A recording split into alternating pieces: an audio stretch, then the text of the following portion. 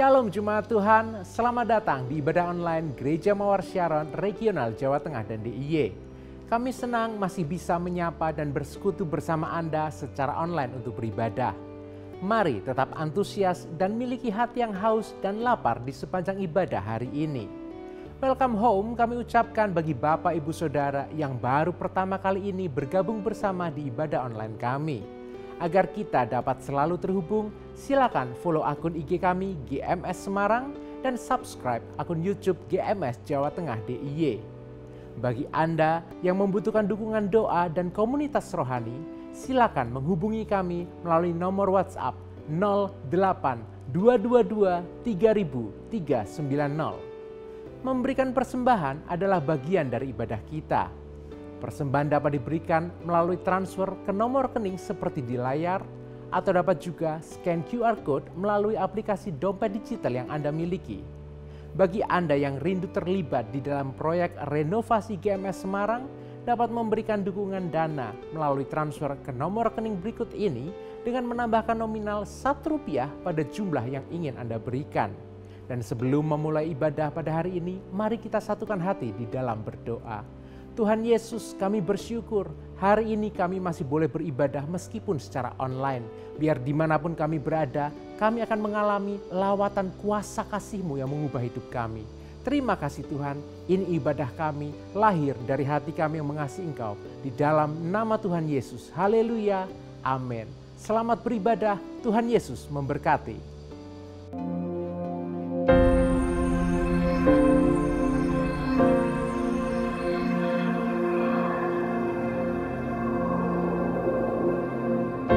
Orang yang suka memuji akan kuat roh doanya.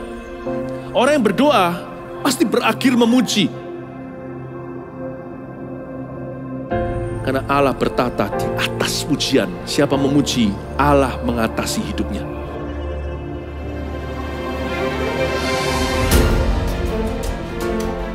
The Year of Praise, tahun pujian menjadi sebuah petualangan yang tiada dua. Menjadi sebuah pelajaran hidup yang langsung dari Kristus menjadi sebuah pengalaman yang indah. Waktu kita memuji Tuhan, seluruh kerajaan itu berdiri di sampingmu. Waktu kita memuji seluruh kerajaan Allah dan kereta-keretanya yang tidak kelihatan berkuda dan berapi-api itu berada di kanan kiri. Semakin fisik kita lemah, roh kita semakin memuji Tuhan. Semakin jasmani kita terbatas, semakin rohani kita tidak boleh dibatasi.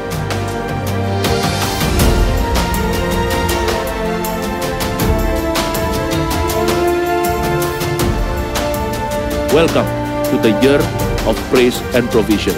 Mari kita mengizinkan Tuhan merajut rancangan yang belum pernah kita bayangkan.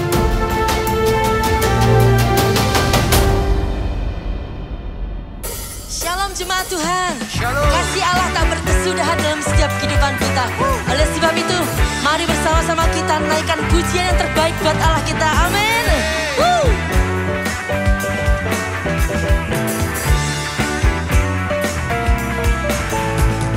Kasih Allah tak berkesudahan, selalu baru setiap pagi. Rahmatnya pun tak pernah berakhir seumur hidupku. Kasih Allah tak berkesudahan Selalu baru setiap pagi. Rahmatnya pun tak pernah berakhir Seumur hidupku. Jangan suka citaku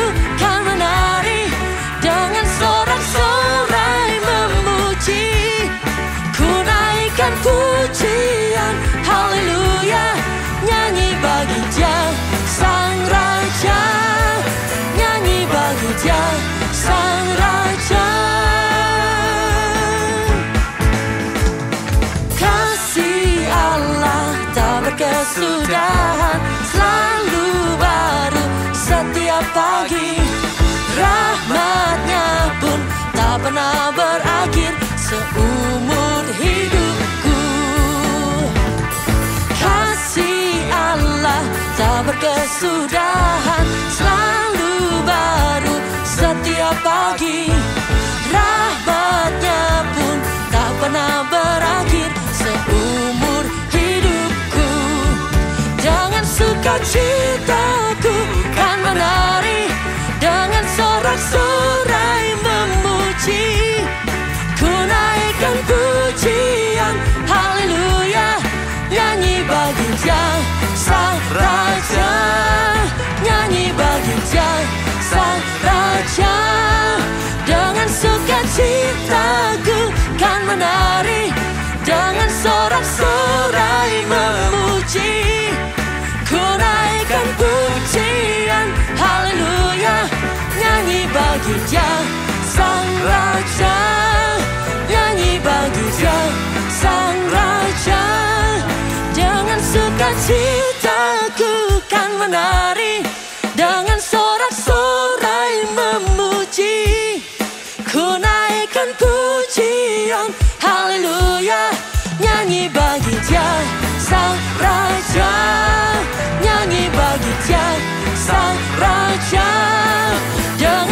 Sukacitaku kan menari Dengan sorak-sorai memuji Ku naikkan pujian Haleluya Nyanyi bagi dia sang raja Nyanyi bagi dia sang raja Sekali lagi Dengan sukacitaku kan menari Dengan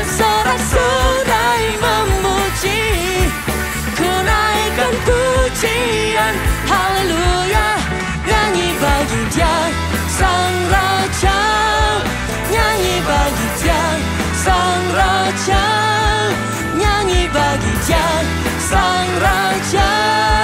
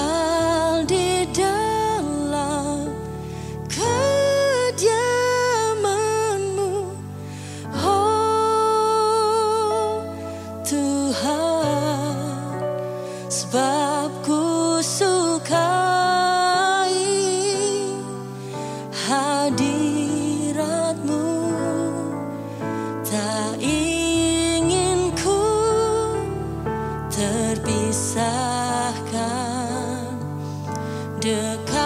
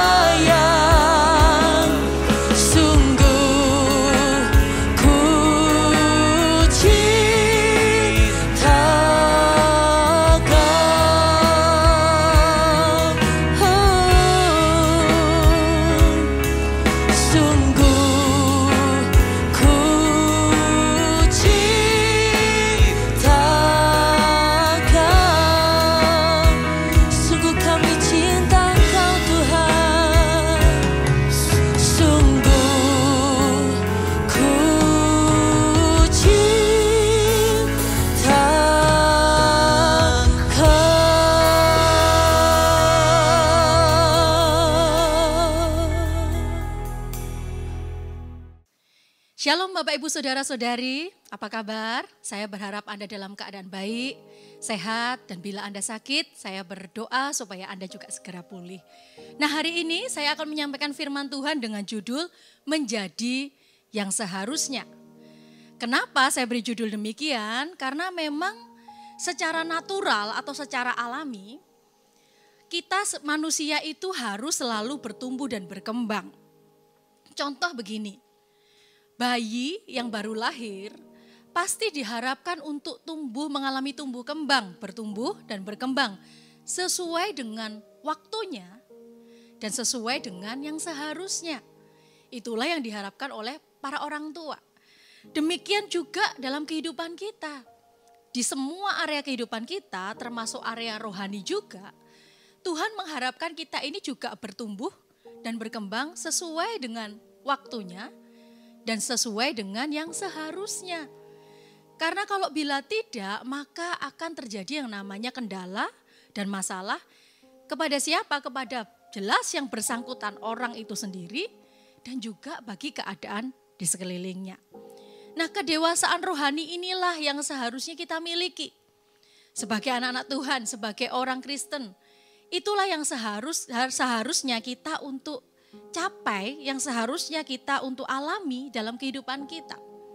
Namun pada kenyataannya Bapak Ibu Saudara-saudari tidak otomatis hal itu langsung terjadi. Setahun kita bertobat maka kita mengalami kedewasaan sesuai dengan waktunya belum tentu juga ternyata. Tergantung dengan respon orang masing-masing. Tergantung dengan bagaimana hati seseorang tersebut mau dibentuk dan mau bertumbuh atau tidak. Nah Bapak Ibu Saudara-saudari kalau kita ini terus menerus mengambil keputusan untuk tidak mau bertumbuh, tidak mau berkembang, yang rugi itu kita sendiri. Tapi juga selain yang rugi kita sendiri, yang rugi itu juga di sekeliling kita. Oleh sebab itu mari kita bertumbuh, oleh sebab itu mari kita menjadi yang seharusnya seperti yang Tuhan mau dalam kehidupan kita. Yang mau katakan yes. Nah Bapak Ibu Saudara-saudari, jemaat di Korintus di Alkitab kita ditulis, Paulus ini sedang menulis surat kepada jemaat di Korintus yang seharusnya mereka ini sudah bertobat bertahun-tahun, ya. Dan seharusnya karena mereka sudah bertobat bertahun-tahun, seharusnya mereka ini mengalami yang namanya pertumbuhan rohani. Tapi apa yang terjadi? Terjadi ternyata di jemaat di Korintus ada begitu banyak orang yang ternyata tidak mengalami hal demikian. Nah kita buka sama-sama Bapak Ibu Saudara-saudari di 1 Korintus pasal yang ketiga ayat yang pertama. Kenapa? Karena begini, Paulus melihat kondisi mereka itu belum matang. Belum matang itu apa? Belum dewasa secara rohani. Ditunjukkan dengan apa? Paulus sebut dengan ciri-ciri manusia daging yang berasal dari kata sarkinos. Nah hal itu menandai bahwa mereka itu masih suka ya dengan kehidupan manusia yang lama, dengan kehidupan keduniawian yang mereka tidak mau lepaskan. Yang mereka tidak mau tinggalkan. Yang mereka masih ingin bersedia terus hidup kompromi di dalam dosa. Nah kita buka sama-sama di 1 Korintus pasal yang ketiga ayat yang pertama. Yang sudah dapat katakan, yes. Wah oke okay, saya melihat Anda sudah dapat ya. Kita baca bersama-sama. Dan aku saudara-saudara pada waktu itu aku tidak dapat berbicara dengan kamu seperti dengan manusia rohani, tetapi hanya dengan manusia duniawi yang belum dewasa di dalam Kristus. Nah, pada saat itu, ya di konteks ini, ayat ini, itu Paulus sedang berbicara kepada orang percaya, tapi yang dalam didefinisikan adalah manusia duniawi. Maksudnya bagaimana manusia duniawi adalah begini. Orang-orang itu sudah percaya kepada Tuhan. Tapi cara-cara hidupnya masih seperti cara-cara dunia dalam konteks di masa itu, dalam kondisi di masa itu adalah begini. Di masa itu orang-orang di kota itu secara moral, secara karakter mereka itu rusak sedemikian rupa. Nah Paulus menegur bahwa jemaat juga mengalami masih mengalami gaya hidup yang sama. Kok tidak mau berubah? Kok tetap hidupnya seperti yang dulu dan bahkan sama dengan orang-orang yang tidak kenal Tuhan di kota itu. Nah, buat Paulus ini adalah sebuah tragedi atau hal yang menyedihkan. Bahwa kenapa? Karena jemaat di situ adalah mereka mau menerima Tuhan Yesus, tetapi mereka tidak mau dikuduskan mereka menolak yang namanya pengudusan diri. Karena kenapa? Karena begini. Ketika kita menerima Tuhan Yesus sebagai Tuhan dan Juru Selamat, langkahnya begitu sederhana, betul? Kita mengaku dengan mulut bahwa Dia adalah Tuhan, kita percaya dalam hati. itu adalah tanda itu adalah tanda keselamatan. Namun hal pengudusan itu memerlukan proses, itu memerlukan perjuangan, itu memerlukan respon. Dan jemaat di sini, jemaat di Korintus nggak mau melakukannya. Tidak mau mengalaminya karena mereka berpikir susah, sulit. Nah, bagaimana dengan kita? Halangan untuk kita bertumbuh menjadi dewasa rohani sering kali adalah demikian. Kita mau bersedia diselamatkan. Kita mau bersedia menerima Tuhan Yesus sebagai Tuhan dan Juru Selamat. Tapi kita tidak mau dikuduskan. Kita tidak mau diperbaharui. Kita tidak mau diproses, menyangkal diri dan membayar harga. Karena memang itu butuh perjuangan. Dan itu tidak mudah. Itu menyangkal keinginan diri kita. Nah Bapak Ibu Saudara-saudari, kalau kita melakukan hal itu, kita ini sedang mengklaim Tuhan, mengklaim bahwa dia adalah juru selamat kita, tapi kita tidak benar-benar menjadikan dia adalah raja dalam kehidupan kita. Tuhan dalam kehidupan kita. Karena kenapa? Karena kehidupan yang demikian adalah hidup yang dikontrol oleh keinginan kita sendiri. Keinginan kemauan kita sendiri bukan kemauan Tuhan. Dan itu yang dialami oleh jemaat di Korintus. Nah, bagaimana apakah kita mengalaminya? Mari kita cek hati kita, mari kita cek kondisi kita. Bila kita termasuk golongan yang demikian, maka itu akan menjadi penghalang untuk kita dewasa mengalami kedewasaan rohani. Sehingga dari waktu ke waktu kita menjadi tetap menjadi bayi-bayi rohani. Jangan sampai demikian Bapak Ibu Saudara-saudari. Nah kondisi yang demikian, kerohanian yang tidak dewasa ini ditandai atau ciri-cirinya adalah adanya rasa cemburu, maksudnya apa? Ada iri hati, ada perselisihan, ada pemecah belah di antara jemaat ini. Di antara kelompok mereka. Sehingga itu yang terus-menerus istilahnya jadi isu. Bukan untuk dewasa di dalam Tuhan. Tapi isunya adalah berselisih, ya, iri hati, terpecah satu dengan yang lain. Nah, ayat kedua kita baca bersama-sama. Dikatakan begini. Susulah yang kuberikan kepadamu, bukanlah makanan keras. Sebab kamu belum dapat menerimanya dan sekarang pun kamu belum dapat menerimanya. Nah ketika Paulus nulis surat ini, Paulus bilang begini, eh kamu bukan lagi petobat baru sebenarnya.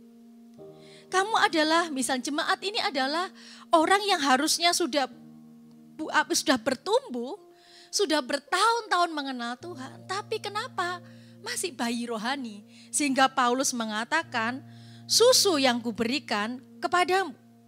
Nah Bapak Ibu Saudara-saudari ketika kita baca ini, saya melihat bahwa begini, kehidupan di jemaat di Korintus itu mereka itu punya intelek-intelek yang tinggi. Mereka itu suka belajar filsafat, mereka itu suka belajar pengetahuan karena Korintus itu kota yang besar. Bagaimana juga dengan kita? Kita juga demikian bukan? Mungkin kita tinggal di kota besar, kita juga atau mungkin juga suka dengan yang namanya pengetahuan, apalagi sekarang pengetahuan atau ilmu, ya ilmu pengetahuan bisa didapatkan dengan mudahnya di gadget kita. Nah perkataan Paulus ini, ini seperti nggak nyaman.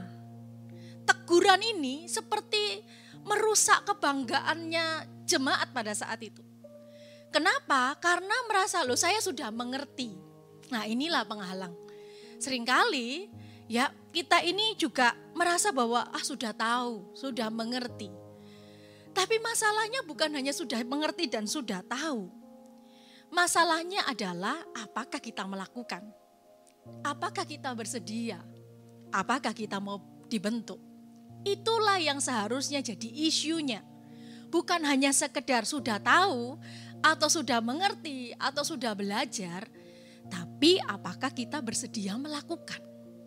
Nah, Bapak Ibu Saudara-saudari, dikatakan begini, bahkan kamu belum dapat menerimanya.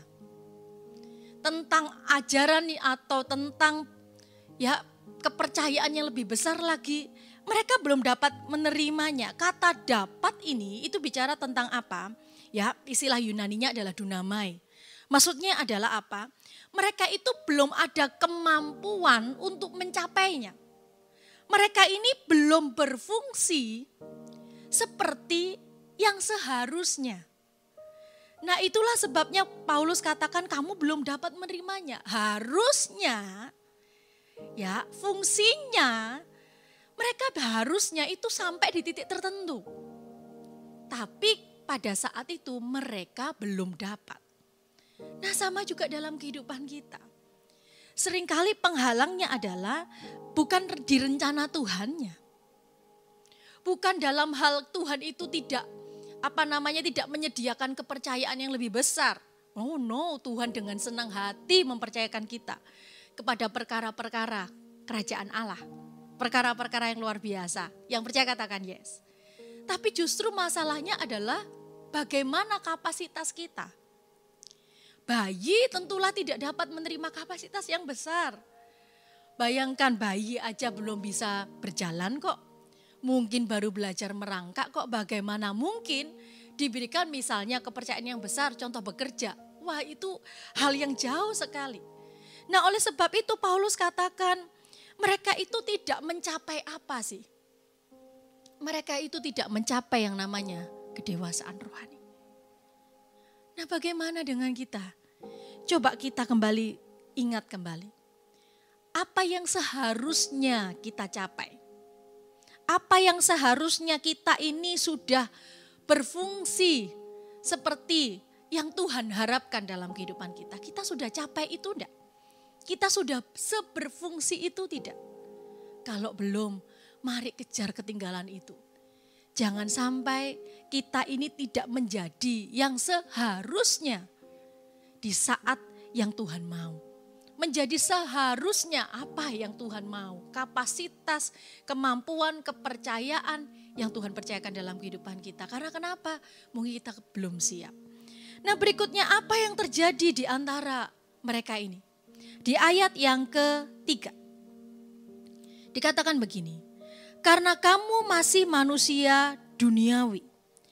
Sebab jika di antara kamu ada iri hati dan perselisihan, Bukanlah hal ini, hal itu menunjukkan bahwa kamu manusia duniawi dan bahwa kamu hidup secara dun, manusiawi. Nah, kata manusia duniawi di sini itu bicara soal dari kata sarkikos. Apa itu maksudnya? Paulus ambil metafora dari kata ini adalah dari kehidupan mereka adalah dari istilah daging. Yang menggambarkan bahwa begini, mereka itu orang Kristen ya jemaat Korintus ini yang sudah diselamatkan tapi sangat sangat sangat tidak dewasa. Sampai disebut katakan manusia duniawi. Kok sama sih seperti dengan orang lain yang belum diselamatkan? Karena kenapa Paulus sebut kamu ini sangat-sangat tidak dewasa? Karena kenapa? Karena mereka begitu egois. Dan mereka begitu mementingkan diri mereka sendiri. Oleh sebab itu Bapak Ibu Saudara-saudari, kenapa di dalam komunitas? Kenapa di dalam CG? Kita ini diajarkan untuk ayo terus yang dikembangkan adalah mengasihi Tuhan dan juga mengasihi sesama, peduli kepada orang lain. Karena kita ini sedang dibawa untuk bertumbuh dewasa secara rohani. Karena kalau kita belum dewasa berarti ciri-cirinya adalah apa? Egois, dan mementingkan diri sendiri. Tidak ada pengorbanan di balik itu semua. Tidak ada perjuangan di, di balik itu semua. Tetapi kalau kita ini dibawa dewasa, maka kita belajar memahami, belajar mengerti, belajar diberikan tanggung jawab untuk tidak egois dan memulai mementingkan kepentingan bersama, itu adalah ciri-ciri kedewasaan. Nah, di sini dikatakan mereka egois dan mementingkan diri sendiri.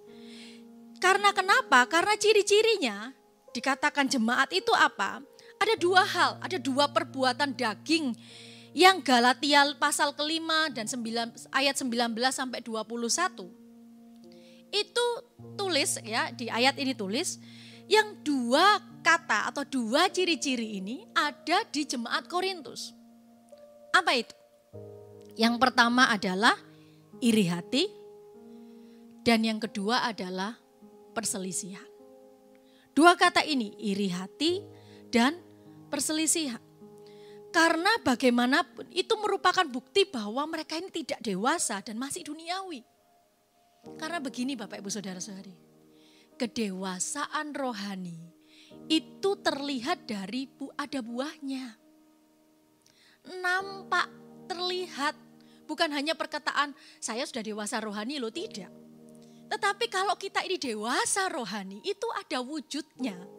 Wujudnya Baik dalam apa? Wujudnya terwujud terlihat dalam apa? Dalam sikap dan dalam tindakan kita. Itu yang menunjukkan kedewasaan rohani kita. Sikap kita bagaimana? Tindakan kita bagaimana? Nah jemaat di Korintus ini jelas sekali mereka belum dewasa karena kenapa? Karena mereka dipenuhi dengan yang namanya iri hati dan perselisihan. Sehingga ya ini menjadi sumber masalah bagi mereka sendiri dan bagi komunitas mereka. Oleh sebab itu Bapak Ibu Saudara Saudari, ayo sering kali ya orang yang tidak dewasa rohani itu sering kali apa cenderung mencari cari masalah. Karena di hatinya muncul seperti dikatakan di Korintus tadi, jemaat di Korintus tadi. Ada iri hati dan perselisihan sehingga cenderung menjadi masalah atau mencari masalah dengan orang lain. Kalau di komunitas kita, mungkin di CG atau mungkin di gereja. Karena kenapa? Karena begini. Bayi itu kalau berkomunikasi ya atau apa yang bayi selalu harapkan adalah perhatian dari orang lain. Betul atau tidak? Dia mau makan, dia menangis. Dia tidak nyaman, dia menangis. Dia berusaha tarik ya perhatian atau panggilan atau perhatian sepenuhnya dari orang di sekitarnya, yaitu orang tuanya tentu saja pasti.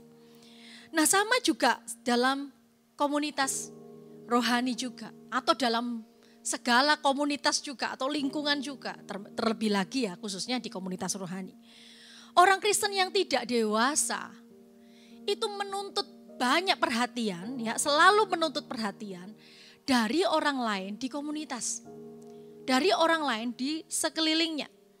Dan sering kali apabila dia tidak mendapatkannya, ini bukan versi saya sendiri. Apa yang saya katakan ini menurut sudah diteliti. Ada surveinya, ada jurnalnya.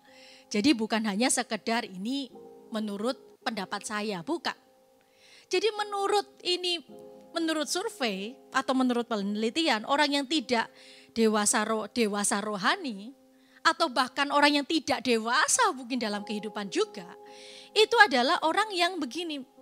Dia kalau tidak mendapatkan apa yang dia inginkan, baik di CG, di gereja, maka ia akan semakin marah dan semakin membuat ulah gitu ya. Supaya kenapa? Supaya orang di sekitarnya, mungkin pemimpin CG-nya, mungkin temannya, itu supaya mereka itu berusaha untuk menuntut perhatian kalau apa yang diinginkannya itu tidak terpenuhi. Nah, sebenarnya yang rugi siapa? Yang rugi orang itu sendiri. Dan tentu saja itu merugikan orang-orang di sekitarnya. Karena kenapa? Karena jadi adanya namanya konflik. Konflik yang tidak seharusnya mungkin. Konflik yang sepele mungkin. Konflik yang orang tersebut karena tidak dewasa tidak mau menyelesaikan Kemudian sehingga apalagi menjadi beban bagi orang lain. Karena begini, hanya orang-orang Kristen atau anak-anak Tuhan yang telah mengalami kedewasaan rohani. Mereka mampu bukan menarik perhatian supaya orang itu memperhatikan dia, mencari-cari perhatian. Orang yang dewasa rohani itu justru memberikan perhatian bagi orang lain, apalagi bagi yang membutuhkan.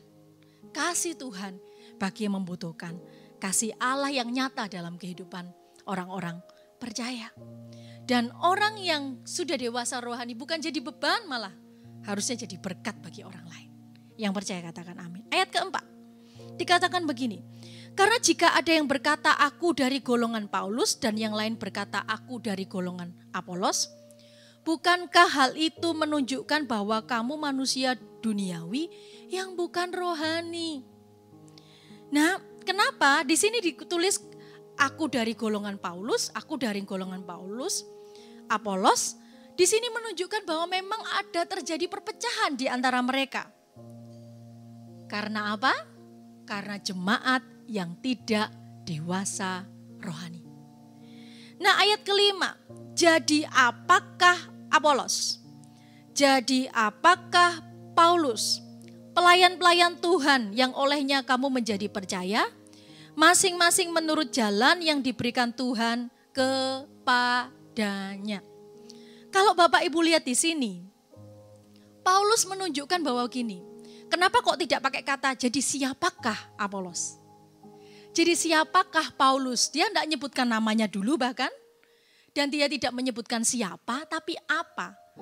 Karena Paulus sudah sedang sengaja menjauhkan fokus mereka daripada figur atau siapa yang penting atau fokus kepada kepribadian siapa yang lebih utama, siapa yang lebih hebat, siapa yang lebih menonjol.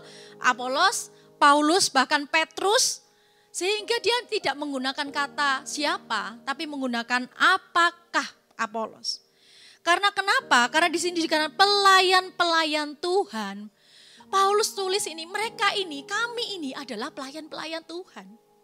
Kita semua ini adalah pelayan-pelayan Tuhan yang menunjukkan bahwa hidup kita ini melayani, memberikan bantuan. Dan ini bicara soal konteksnya ini di sini ya. Fokusnya di sini adalah kepemimpinan seperti Yesus telah yang teladankan. Yaitu seharusnya kalau yang ditunjukkan kita ini adalah dewasa rohani, kepemimpinan kita itu adalah kepemimpinan hamba yang bersedia melayani, yang bersedia mengasihi, yang bersedia membantu sama seperti yang Tuhan Yesus lakukan.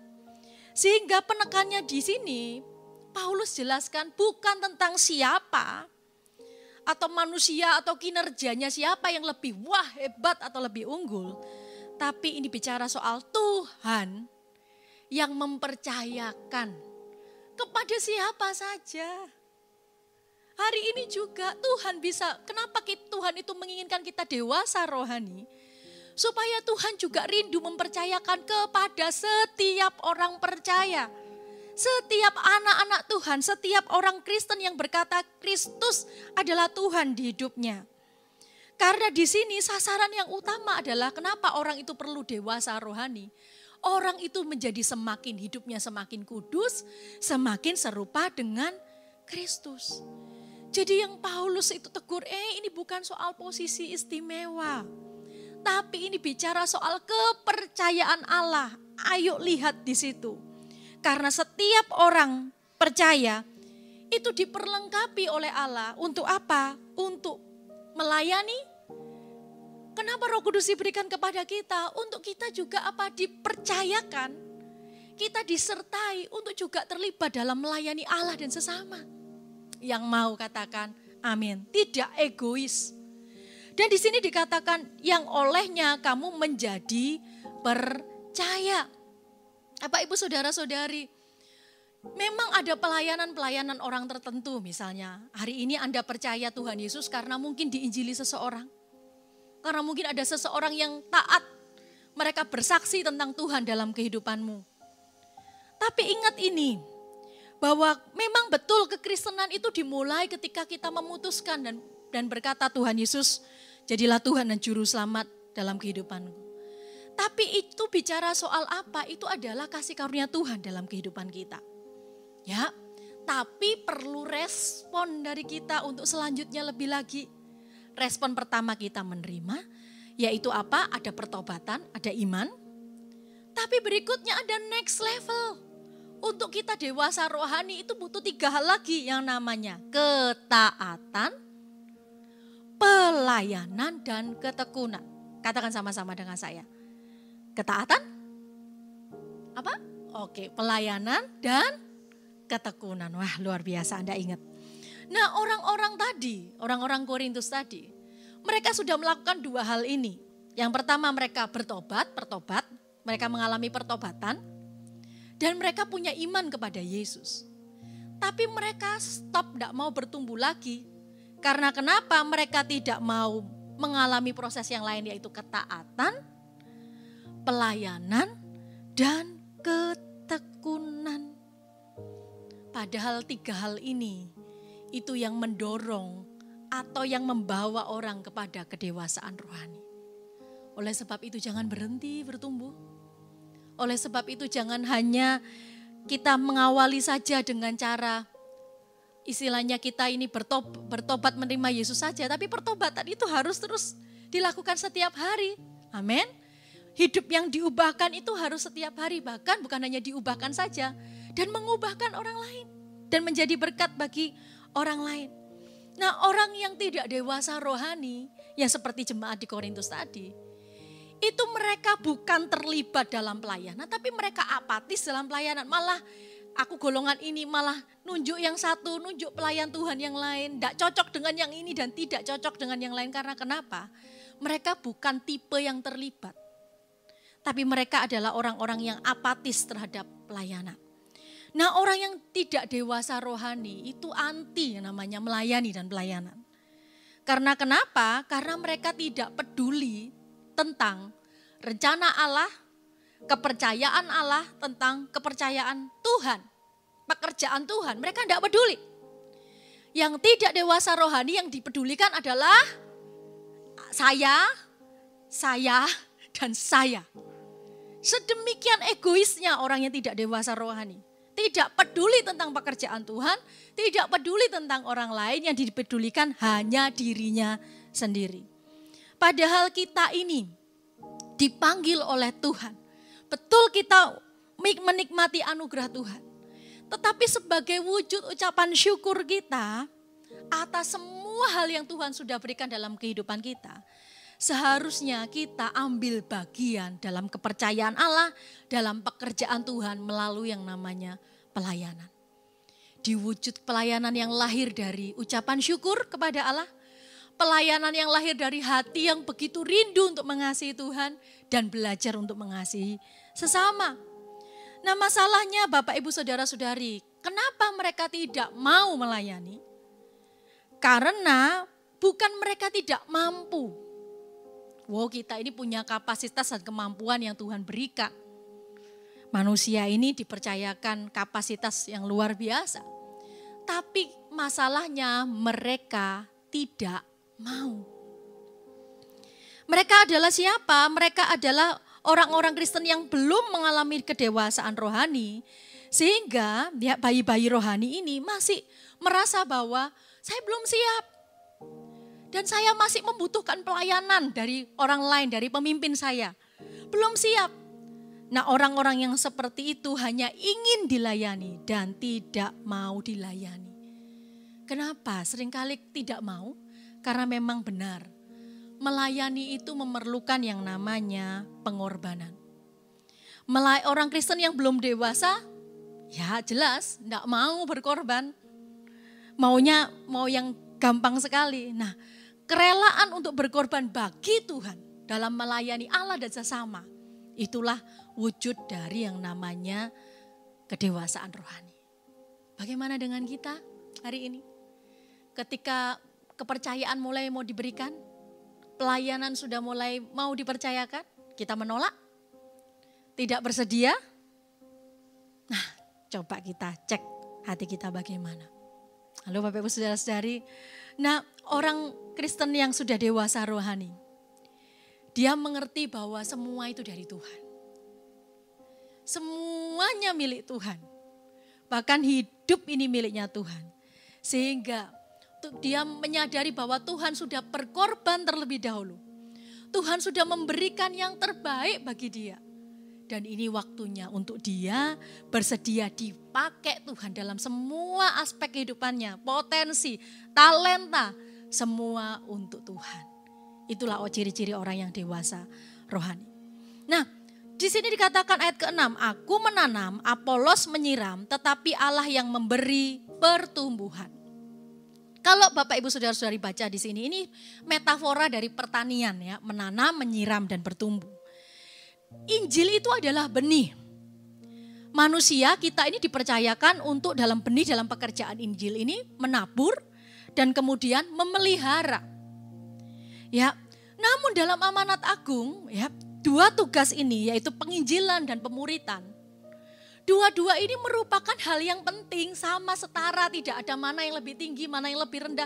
Dua-dua hal ini, penginjilan dan pemuritan, mempunyai peran yang sangat penting. Sehingga Paulus dikatakan begini, ya betul, Paulus itu dipakai pada saat itu untuk memberitakan Injil. Nah Apolos itu dipakai untuk memuridkan atau mengajar gereja pada saat itu. Sehingga Paulus berkata, kedua-duanya punya peran penting Jangan dibedakan, jangan dibandingkan. Setiap kita punya peran masing-masing. Dan peran kita dalam kerajaan Allah itu penting, tidak usah dibandingkan. Tidak usah, oh saya lebih suka yang ini, saya lebih suka yang lain. Semua bagian dalam kerajaan Allah punya peran masing-masing. Oleh sebab itu hargai pelayanan tersebut. Dan di ayat 7, karena itu yang penting bukanlah yang menanam atau yang menyiram, melainkan Allah yang memberi pertumbuhan. Di sini kuncinya dikatakan begini. Karena pertumbuhan itu adalah tindakan yang terus menerus. Jadi bisa jadi Apolos dan Paulus itu Paulus misalnya menginjili mungkin satu kali, dua kali di kota Korintus atau kepada jemaat Korintus. Tapi bisa jadi Apolos mengajar mungkin berkali-kali. Tapi ingat ini, tindakan Allah itu adalah tindakan yang terus berkelanjutan dan kekal dampaknya yaitu apa? Tindakan Allah fokus utamanya di sini ditunjukkan bahwa Allah adalah fokus utama dari segala sesuatu. Allah adalah sumber segala sesuatu. Allah adalah penentu, kuncinya di sini adalah Allah. Dan kita ini adalah pelayan-pelayan Allah. Jadi bukan siapakah Apolos, bukan siapa Paulus, bukan siapa orang ini, bukan siapa pemimpinku dan sebagainya. Tapi kuncinya fokus utamanya adalah Allah kita ini adalah yang dipercayakan saja. Melakukan bagian kita. Tetapi Allah yang memberikan pertumbuhan yang berkelanjutan yang terus menerus. Dan di sini dikatakan, baik yang menanam maupun yang menyiram adalah sama. Dan masing-masing akan menerima upahnya sesuai dengan pekerjaannya sendiri. Dan Paulus sedang berkata begini, Allah itu menghargai semuanya itu. Allah itu menghargai apa yang kita lakukan. Kalau hari ini Anda adalah seorang leader, hari ini adalah Anda adalah seorang pemimpin di masa seperti ini Anda ekstra perhatian kepada orang lain. Anda ekstra berdoa untuk mungkin kesembuhan orang lain. Anda ekstra berdoa untuk pergumulan orang lain dikala Anda sendiri hari ini. Mungkin Anda sendiri juga sedang saya sedang bergumul. Saya sedang berjuang saya sedang berusaha dan sebagainya. Ingat ini, dikatakan di sini masing-masing akan menerima upahnya sesuai dengan pekerjaannya sendiri. Ini bicara soal apa? Ingat, Allah itu menghargai. Allah itu melihat. Bisa jadi kadang pekerjaan kita, apa yang kita lakukan disalah mengerti. Bisa jadi juga dianggap mungkin kita ini kurang dari ekspektasi atau kurang dari apa yang diharapkan oleh mungkin jemaat yang kita pimpin dan sebagainya. Tapi ingat di sini, Paulus katakan kepada jemaat pada saat itu, ada satu pribadi yang melihat, ada satu pribadi yang menilai, ada satu pribadi yang menghargai setiap tetesan air matamu, yang engkau berdoa untuk anggota CG-mu, yang engkau berdoa untuk sesamamu yang sedang mengalami kesulitan. Karena di sini Tuhan mau tunjukkan bahwa Tuhan itu memberikan, Tuhan itu menghargai itu. Tuhan memberikan penghargaan.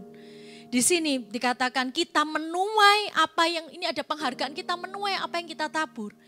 Itu bicara soal ada upah dari Allah ketika kita ini melayani dia. Ketika kita ini sungguh-sungguh melayani Allah dan umatnya, melayani Allah dan sesama, Tuhan menghargai. Tuhan melihat. Mungkin hari ini upah upah kita kita tidak ada mungkin tidak ada ucapan terima kasih mungkin. Tidak ada dihargai mungkin apa yang Anda kerjakan begitu susah payah. Ingat ini. Tuhan menghargai. Allah menghargai. Dan nanti siap-siap aja terima upahnya. Mau bisa jadi ada remahan yang diterima di sini ya. Kenapa saya bilang remahan? Karena nggak sebanding dengan upah yang kekal nanti. Amin. Oleh sebab itu jangan menyerah. Oleh sebab itu, ayo mari terus bertumbuh dewasa dengan wujud apa? Melayani Allah dan sesama. Jangan menyerah. Tidak usah harapkan pujian orang lain, tidak usah harapkan penghargaan dari orang lain.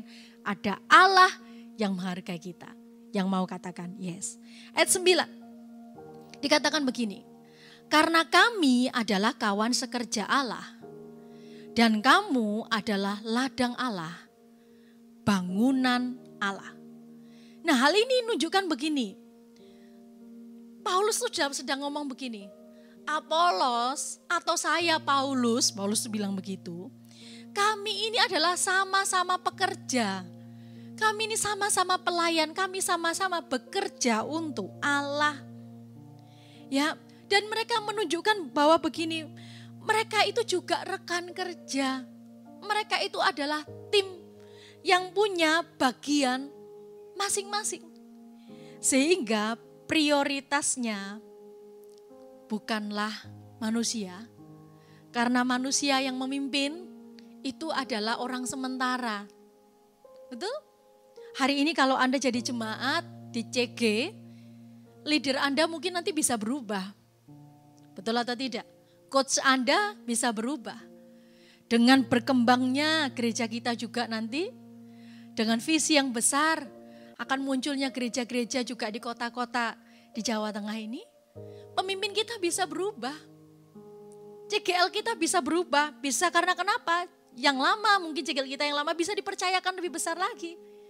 Karena kenapa ada banyak jiwa yang butuh dimuridkan, atau banyak jiwa yang butuh dikembalakan. Tapi di sini sekalipun pemimpin yang sementara ini bisa berubah karena manusia hanya sementara. Kita semua punya lifetime. Kita semua punya masa.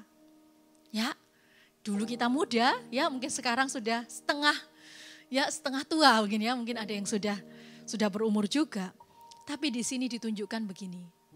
Prioritasnya harus tetap adalah Allah. Prioritasnya harus tetap Tuhan. Karena siapa? Karena kita semua. Karena pemimpin tadi. Apolos maupun Paulus mereka adalah milik Allah Bapa. Sama seperti jemaat di Korintus adalah milik Allah Bapa. Dalam hal kita mengembalakan, sama juga dengan kita. Kita ini para pemimpin semua. Kita ini adalah miliknya Allah. Dan jemaat yang Tuhan percayakan, baik di CG maupun di gereja kita, semua juga adalah miliknya Allah. Sehingga kita perlu membawa hidup kita perlu membawa jemaat yang Tuhan percayakan, perlu membawa orang-orang kepada siapa? Yang menjadi prioritas utama pemegang kehidupan yaitu siapa? Yaitu Allah. Kemudian dikatakan kamu adalah ladang Allah, bangunan Allah.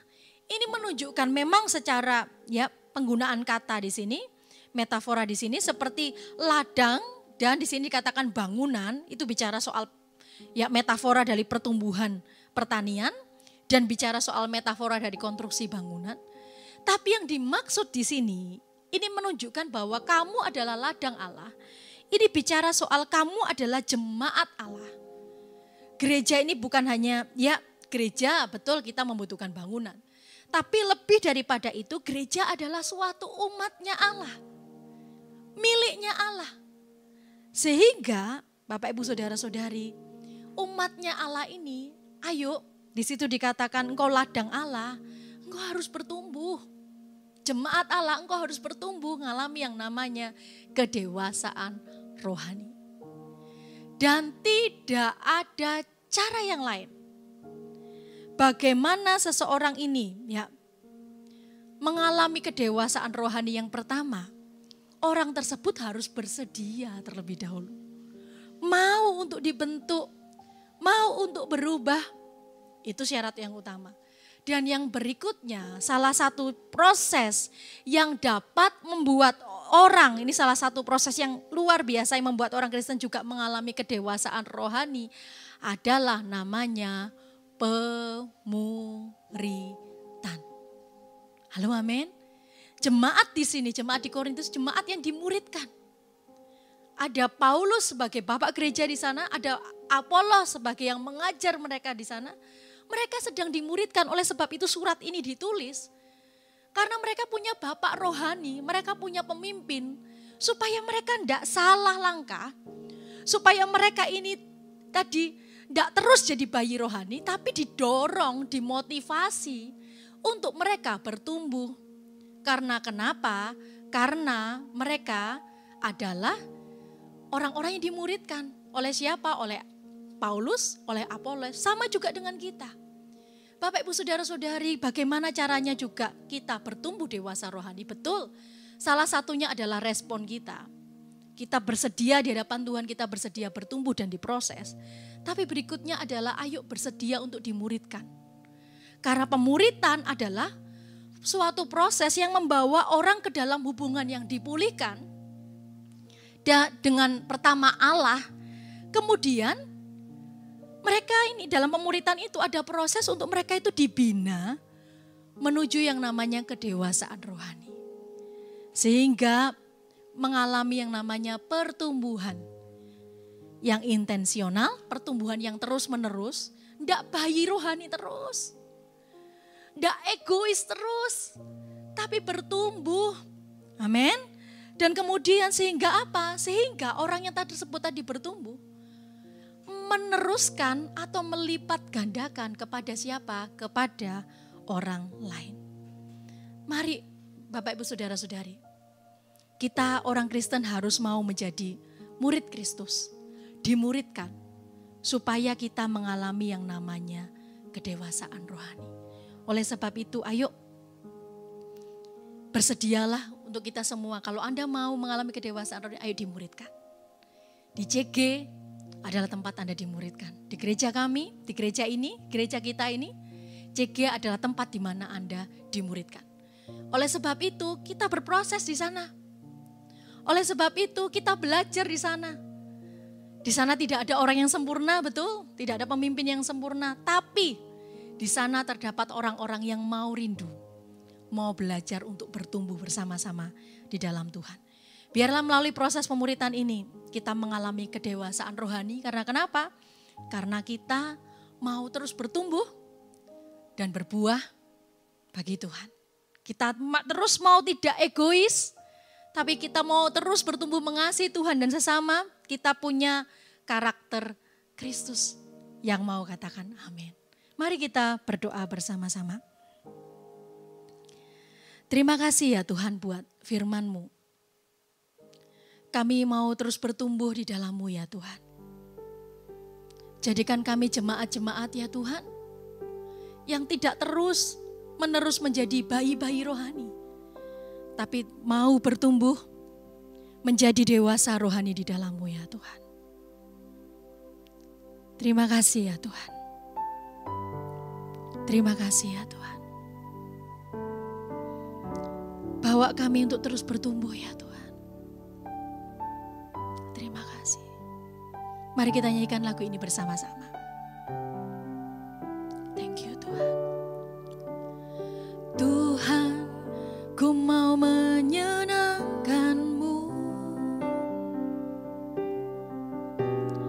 Tuhan, bentuklah hati ini. Jadi bejana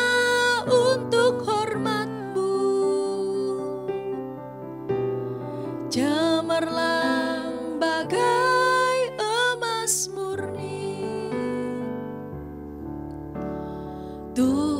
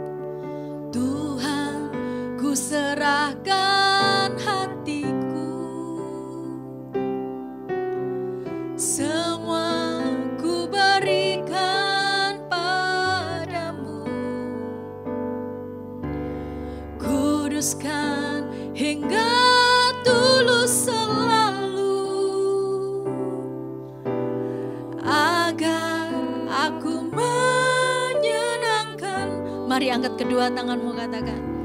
Menyenangkanmu,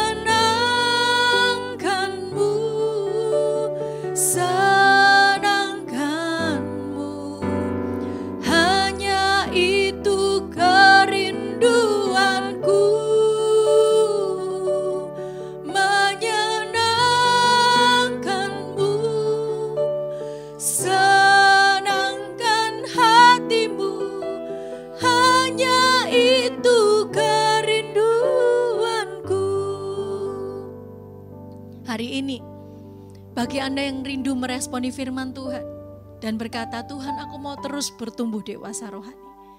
Yang pertama, ayo miliki yang pertama, miliki hati yang bersedia. Mau untuk rindu dibentuk, mau untuk rindu taat, mau rindu untuk melayani. Berikutnya, ayo Bapak Ibu Saudara-saudari terus bersedia dimuridkan. Di gereja kita ini ada CG, bertumbuh di sana, berproses di sana. Mari terus kita mau sama-sama jangan jadi bayi rohani, tapi bertumbuh yang semestinya, yang seharusnya seperti kehendak Tuhan, rencana Tuhan. Bagi Anda yang bersedia angkat kedua tangan. Hari ini ya Tuhan saya berdoa untuk tangan-tangan yang terangkat. Tuhan Yesus, lihat mereka hamba, jemaatmu ini, hamba-hambamu ini rindu untuk dipakai Tuhan. Mereka itu rindu ya Tuhan untuk terus bertumbuh. Lihat tangan-tangan yang terangkat. Lihat kerinduan hati jemaatmu yang rindu untuk dimuridkan, yang rindu untuk terus bertumbuh menjadi dewasa rohani. Lihat hati mereka ya Tuhan. Pakai hidup mereka. Hidup terus bertumbuh tidak egois, tapi berkembang dalam hal mengasihi Allah dan mengasihi sesama. Terima kasih Tuhan. Menyenangkanmu,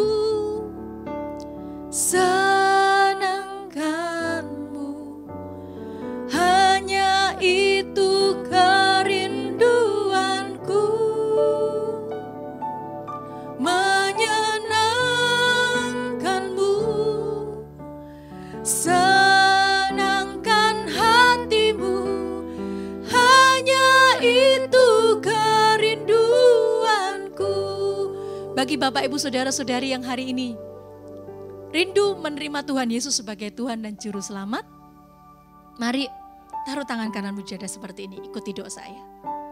Tuhan Yesus, hari ini aku menerimamu sebagai Tuhan dan Juru Selamatku.